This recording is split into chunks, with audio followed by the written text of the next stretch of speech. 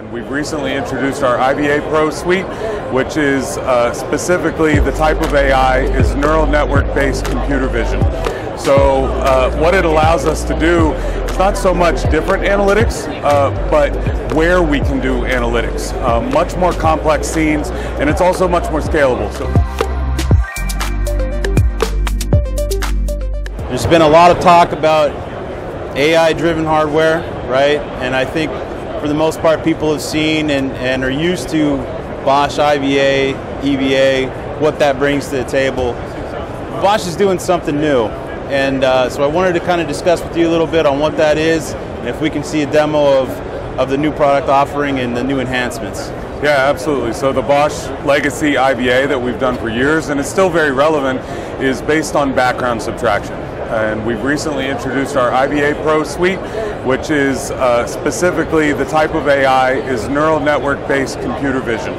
So uh, what it allows us to do is not so much different analytics, uh, but where we can do analytics. Uh, much more complex scenes, and it's also much more scalable, so easier to set up. So here you can see in this scene a lot of simultaneous tra- simultaneously tracked objects. Uh, we've had this over 74, I think 74 was where it peaked at the, the, the height of the show. Simultaneously tracked objects. Uh, it works in much the same way that IVA does, but like I said, works in environments that it just didn't previously. Okay, so I know there's some other things that uh, there's there's these pro packs, and we'll kind of get into that uh, here next. But I know there's some key things that we can kind of show here just by holding something up. Can we kind of walk through that? Yeah, absolutely. So. Uh, one of the things we're really excited about is a sort of renaissance for pan tilt zoom cameras. Over the last few years in our industry, pan tilt zooms have fallen out of favor. Uh, instead, people are going to multi-imagers and panoramics because they don't have that nasty PTZ habit of being looking in the wrong direction.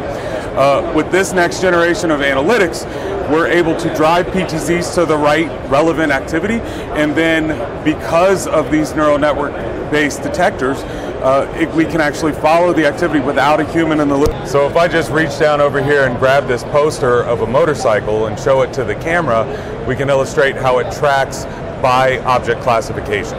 Onto that, and then follow me throughout the booth as long as that vehicle is present.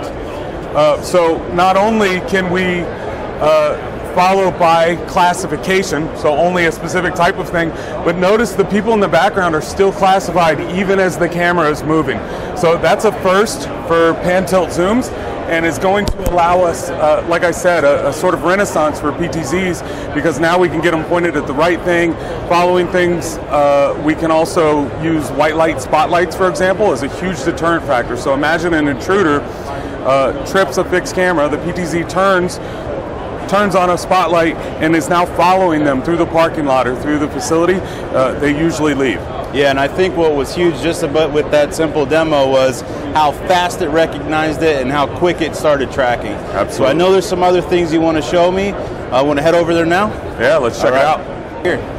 Yeah, so now that we've talked a little bit about the basics of our neural network detectors, we can start to get into some of the things that we can do with them. So one thing that I think is important to note here at the show is that all of these demonstrations we're doing are live. So even though this video is a looping video, the camera is actually evaluating it in real time. It's pointed at the screen. So here you can see uh, some of the additional granular detectors, uh, cars, trucks, bus, uh, people, bikes, motorcycles uh, all being detected in a, in a relatively flat shot. So historically, these kinds of field of view fields of view weren't conducive to good analytics. Uh, now the cameras are much less sensitive to fields of view, and we can get accurate detections even in tough environments like this. There you can see a couple of bicycles as well that are instantly uh, detected and classified. It's also important to note that this requires no calibration now, so this also far more scalable. Uh, when I switch from one scene to the next, I don't have to change the calibration anymore because the camera understands people natively. So not only does it work much more accurately, but it's also easier to scale across broad things. As I mentioned in the last station, we can also do complex scenes. So this type of security checkpoint just simply was too complex for previous generation detectors, and now we're able to. So the other thing I want to show you is this concept of automated response. So here, we've got a truck driving down the street, we've got a detector, and now our speaker is going to play so watch out for the truck. We've got another detection for jaywalkers. So we're driving automated response. Things that used to require a human in the loop now can be done entirely by the system, device to device. The camera's telling the speaker what to do, might be telling a PTZ where to go, white light, all of these responses can be fully automated. Yeah, and I think a lot of the, there's so many mechanisms to this now and it's it's enhanced and I think people really need to notice that even static objects are being detected. Where before that wasn't always the case, right? So that's a tremendous differentiator, and uh, at our next station, we'll see that uh, used in real life. But uh, yeah, all of the background subtraction algorithms were always based on something happening, and sometimes what you want to know is what's not happening, like an empty parking space. Little uh, teaser for the next station. All right, well, can't wait to see that. Let's head over there. You bet. All right, Brad, come check this out. All right, Matt. So we were just talking about static objects and how we can use that for parking spaces. So what do we got? Yeah, uh, so again, this is the ability to detect what's not happening, which is kind of a new development. So here, this camera is live. You can see if I put my hand in front of it, it's there. It's looking at our little mocked up parking lot. So I do want to point out that it's still doing its job as a security camera. So in the background here, and this uh, this little uh, yellow Corvette is in our fire lane, and we can see that our fire lane is blocked.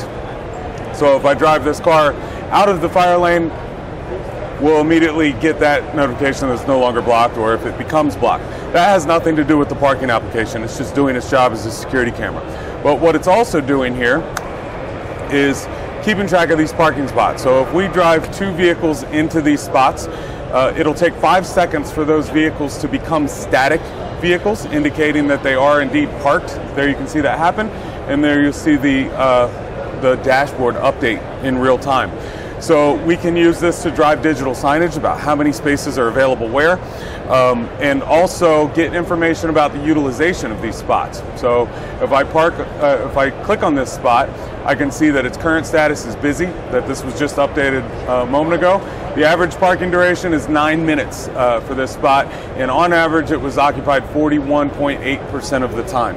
So this is going to allow me to potentially dynamically set pricing based on time of day, based, based on spot location, as well as make it more convenient for my customers or users to get in and out of this. So a great example of how a camera that we were likely going to put up either way is being used for multiple uh, functions in a uh, in its normal environment. All right. And what about on this side? Yeah, so this is just another example of where we can go with the video analytics that, that we've been showing you. So again, AI is not the end, it's the beginning. Uh, this is where we want to go with that. So in this case, uh, we're doing intelligent traffic. You can see an intersection that we're looking at, and then data that's been coming from that intersection. Uh, one of the things that I'm most excited about with this kind of technology is the ability to bring smarts that are part of digital spaces to physical spaces. So in social media, for example, A-B testing is very common, where we'll send uh, a million users one colored button and a million other users another colored button. The users don't realize they're being experimented on, uh, but we really quickly, quickly get click data about which button works better. So imagine the same thing for physical spaces. Here, this intersection is likely duplicated in terms of traffic volume and layout several times throughout the city. And we want to test which light timing works better. All we need to do, the camera's going to be there anyway, it's going to collect data no matter what. We apply light timing A in one intersection, light timing B in the other, and just wait for the, the information about flow rate, accidents, et cetera, to come in on the cameras. And we can really quickly evaluate that information. Uh, very similar things in retail environments where we've got two stores with the same floor plan and we change the signage in one and we just wait for the information to come back in. So that's applying those lessons we've learned in digital spaces to actual physical spaces, utilizing cameras that we would have put up either way. Gotcha. I think I think again Bosch is going beyond the video and, and really bringing in some of these some of these enhancements that people can take advantage of to solve their solve their issues and get a, get away maybe from the traditional stuff and having to worry about calibration elements and stuff like that. I mean, now there are things in place to help solve that, move that along. So I really appreciate your time and showing us all this, Matt, and I hope you have a great show. You bet. Thanks, Thanks Brad.